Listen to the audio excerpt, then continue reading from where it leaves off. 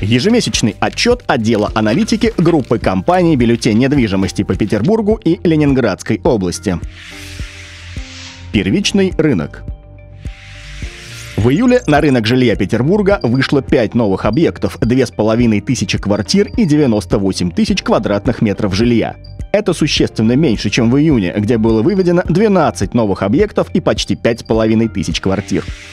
В Ленинградской области в июле было выведено 6 новых объектов, 2100 квартир и 85 тысяч квадратных метров жилья. По количеству квартир это практически в 8 раз больше, чем в июне. Тогда было выведено менее 300 квартир.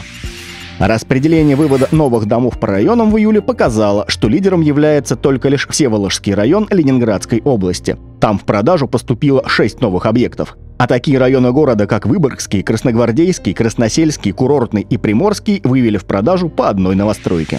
В прошедшем месяце наиболее популярными у застройщиков Санкт-Петербурга были квартиры-студии. В июле их было выведено 39%, однокомнатных чуть меньше – 35%, двухкомнатных квартир – 22%, трехкомнатных – 3%, а квартир с четырьмя комнатами и более – 1%. В Ленинградской области лидерами в июле являлись по-прежнему однокомнатные квартиры. За месяц их было выведено 38%. Студий и двухкомнатных квартир появилось чуть меньше – по 28%. Доля трехкомнатных составила 6%, а квартир с четырьмя комнатами и более не было выведено вообще.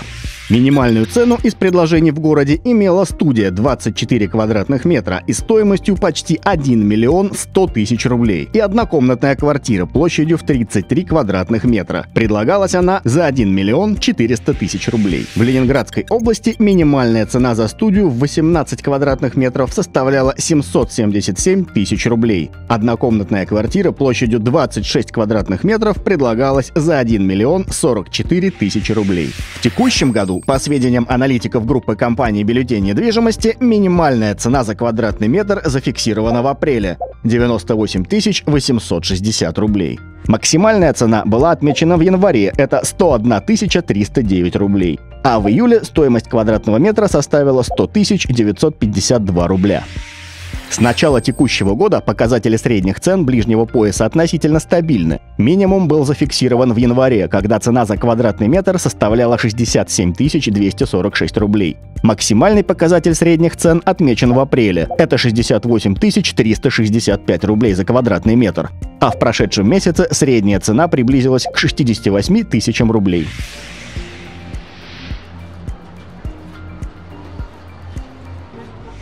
На протяжении последних лет бесспорным лидером по объему реализации является Всеволожский район Ленинградской области. За первое полугодие 2016 года рынок района пополнился новыми объектами площадью 560 тысяч квадратных метров. А среди наиболее крупных э, жилых комплексов можно ответить как новые объекты, это «Форвард», «Мурина 2017», так и крупные объемы в рамках новых очередей жилых комплексов «Семь столиц Лондон», «Вернисаж», «Краски лета», «Старая крепость» и другие. Основными застройщиками района являются такие компании, как Civil City, ЦДС, Петрострой, КВС, Арсенал недвижимость, э, Полис Групп, э, Строительный трест, Лидер Групп и другие компании. Кроме того, в последнее время интерес к Всеволожскому району, особенно к локации Мурина, проявляют и московские девелоперы, например, ФСК Лидер, Самолет ЛО и другие. По состоянию на июль 2016 года средняя цена предложений на первичном рынке Всеволожского района составляет 74 200 рублей за квадратный метр. С начала года прирост средней цены составил чуть более 3%. По данным петербургской недвижимости, средний бюджет покупки во Всеволожском районе составляет 2,5 миллиона рублей.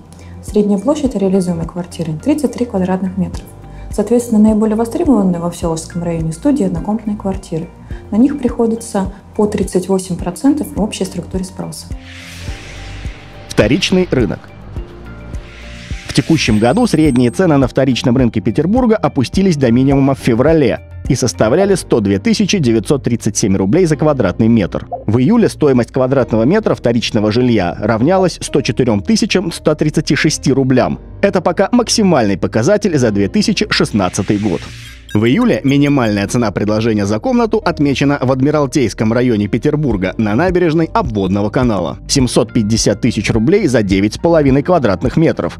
И в Красносельском районе. В Красном селе квартира-студия площадью 28 квадратных метров предлагалась ровно за 2 миллиона.